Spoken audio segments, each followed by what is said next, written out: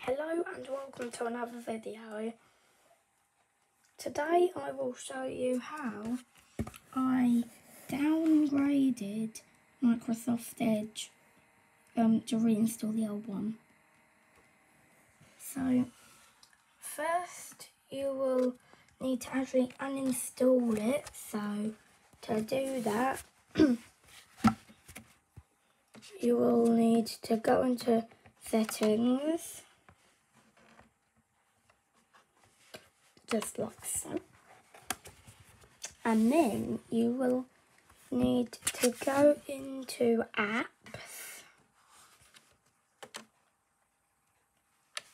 Then you'll need to go down to um, to Microsoft Edge. And if you can find it you'll need to tap on it.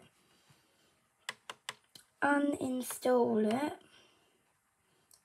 so let me try and find Microsoft Edge.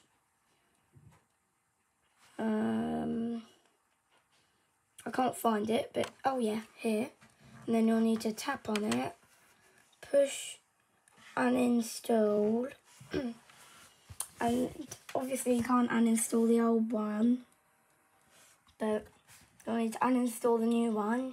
And then voila you have the old Microsoft Edge back